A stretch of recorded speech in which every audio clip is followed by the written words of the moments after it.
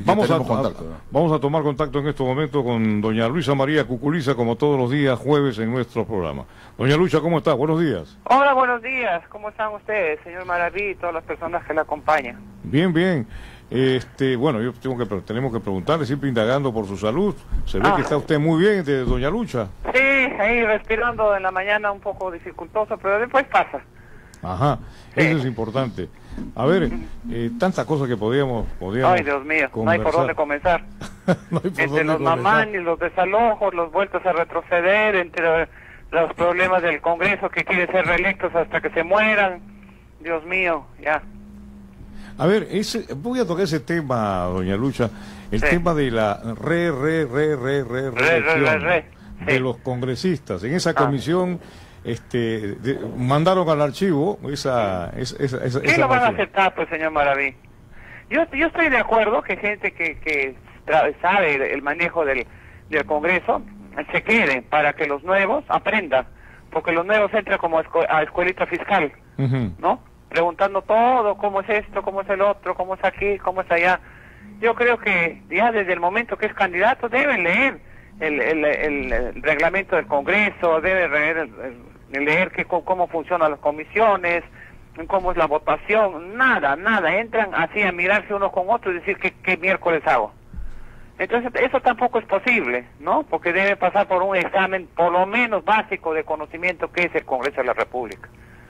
Entonces, este, bueno, pues tenemos a gente que tienen, yo no digo que, que, que el quinto de primaria, sexto de primaria sea malo, no, ni que no tenga título universitario tampoco.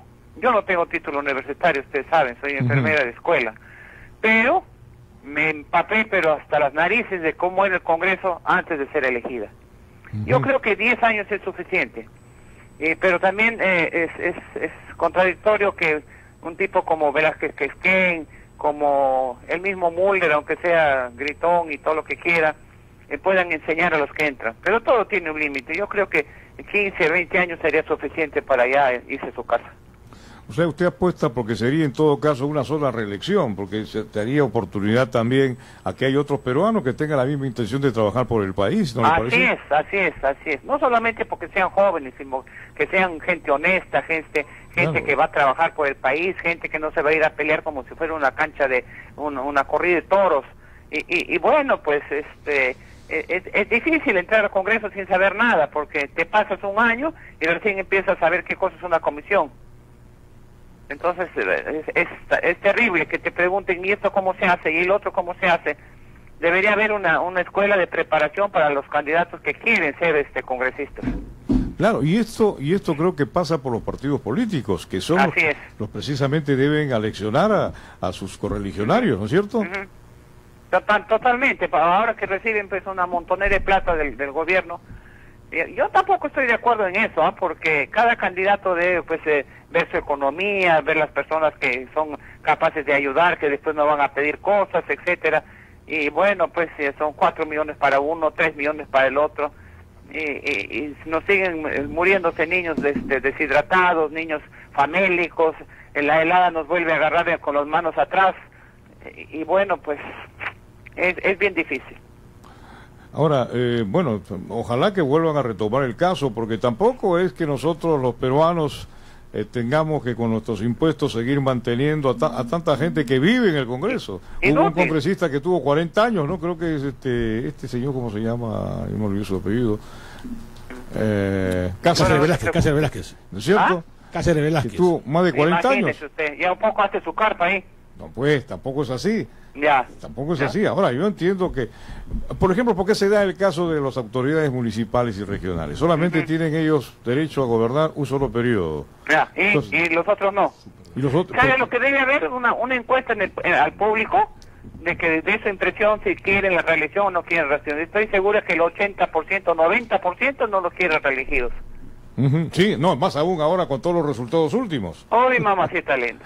Más bien que la gente quiere que se vayan todos. Es una asquerosidad. Verdaderamente me da una lástima terrible ver el Congreso de la República así. Uno se denuncia al otro. Ahora el mamá mi, mamá ni, ¿no? Mamá, ni, ¿eso? mamá, mamá ni bon.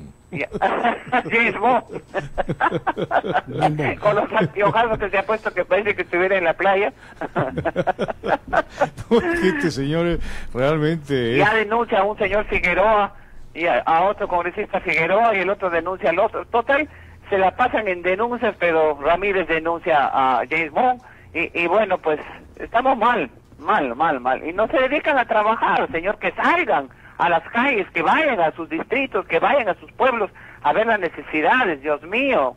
Yo sin ser este, de, de, de, provincias, cuando necesitaba ver casos urgentes, me iba a Trujillo, me iba a Chiclayo, me, me iba a Puno, me, a, todo el Perú, ¿no? Viendo las dificultades de las mujeres en los trabajos, en los hogares, de los niños que no iban al colegio. Bueno, ¿y cuándo van estos? ¿Cuándo van? ¿Ah?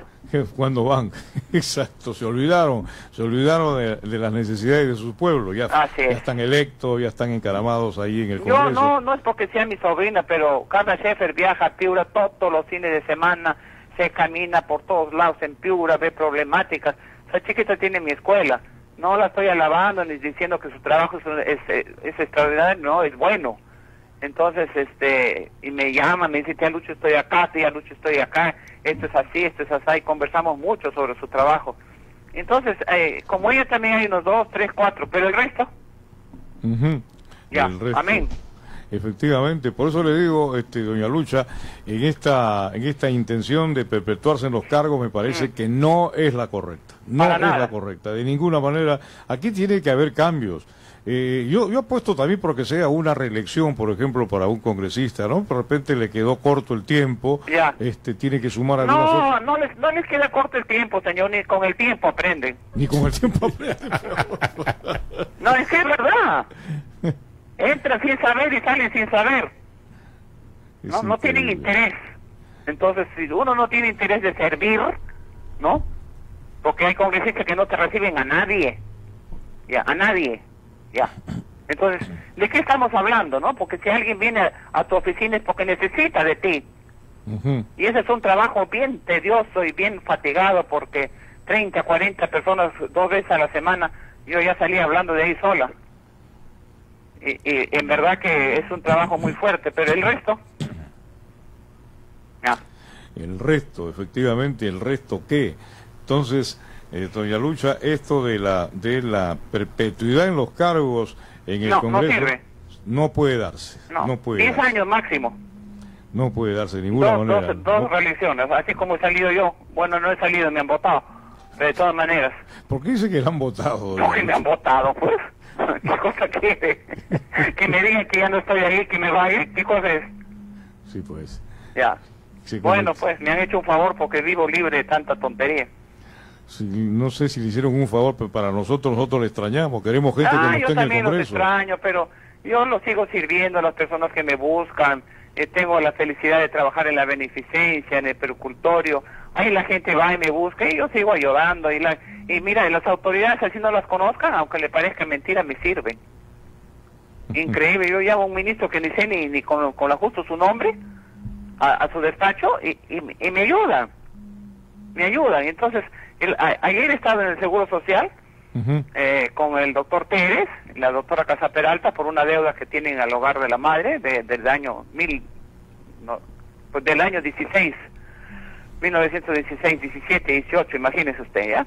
Es un huevo de plata que debe el seguro al hogar de la madre. Y me ha servido, pero como si fuera ministra y, se está arreglando el pago y han dado ya un cheque de, garantía que se va a pagar, etcétera, etcétera. Y, bueno, yo me siento halagada porque yo no trabajo para mí, sino para los demás. Entonces cuando en la calle me paran, me dicen esto, que el otro, para mí son condecoraciones que las llevo debajo de la piel y que nadie se da cuenta.